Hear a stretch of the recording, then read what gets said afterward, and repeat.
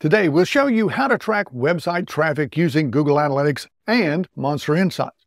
First, we'll look at how easy it is to see your Google Analytics data on your WordPress dashboard using Monster Insights, and then I'll show you how to see your data on your Google Analytics account. For this video, I'll be using Monster Insights Pro. I've already installed, activated, and connected it to Google Analytics, and now we can start seeing the reports on the WordPress dashboard.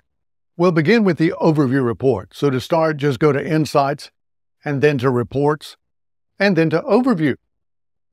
Here you can see a traffic overview report of the overall performance of your website. You can click the button at the top right to change the date range, and beneath that you'll see a graph displaying your site's sessions and page views. Just below the graph, you'll see the sessions, page views, average session duration, and total users for the time you've chosen. Scrolling down, you'll see the data about your new and returning visitors and a breakdown of the types of devices used to view your site. Next, you'll see the top 10 countries that your users are from. You can use that information to create campaigns, messages, and content for those regions. And next to countries, you can see the top 10 referrals reports showing you the website sending traffic to your site. And just below that, you'll see your top posts and pages. The Publishers tab provides data about your top landing pages, and right beneath that, you'll see your top outbound links and top affiliate links. Then scroll down a little, and you'll see your top download links. A little further down the page, you'll see your demographics report, an interest report, and the average scroll depth of your pages. Now return to the top of the page and click the Search Console tab. Here's where you'll see the keywords that people are using to find your site.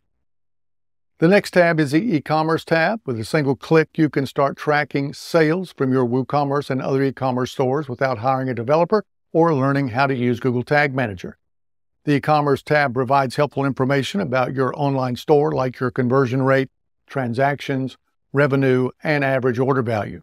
Then scroll down a little and you'll see your top products report. And a little further down, you'll see the essential data about your top conversion sources and at the bottom of the page, you'll see the total add to carts, total removed from cart, new customers, and abandoned checkouts report. Now back to the top, and we'll go to the Dimensions tab. Now you can use this tab to help you keep track of the custom dimensions that you've set up.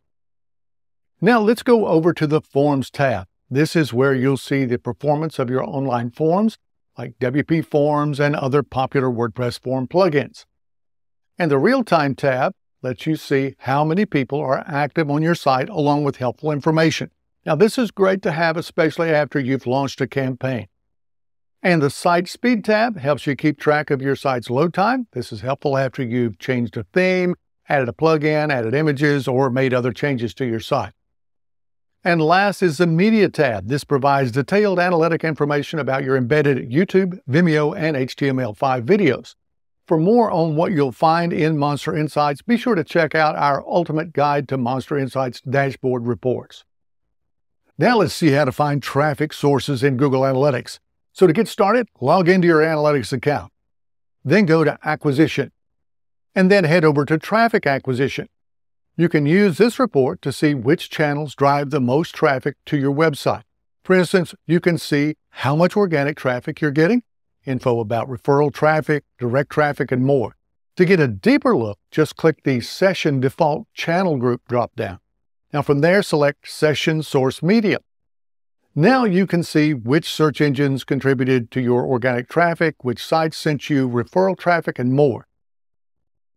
To find traffic sources and other web traffic analytics for specific pages, you'll need to navigate to Engagement, then Pages and Screens. Now in the table, you'll see both views and users. So you can see how many views each page got and how many users completed those views. To add source medium to the report, just click the plus icon above the totals column. Then in the drop-down, choose Traffic Source. Then Session Source Medium. Now you have a table of your pages by source, medium, and views.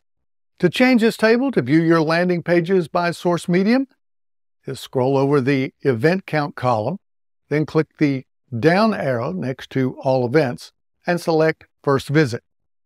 Then click the Event Count column title to sort by landing page visit events. Now you have your landing page visits report by source medium. See the link in the description for more ways that you can track website traffic in Google Analytics and a list of other tips, tricks, and tools that you can use to understand your site's traffic a lot better. And that's it. Now you can track your website traffic using Google Analytics in just a few steps. With Monster Insights, you get the website stats that matter. See why over 3 million websites use us. If you're not already using Monster Insights, there's a discount link in the description. Thank you for watching, and remember to subscribe for more tutorials, explainers, and helpful content like this. We'll see you next time.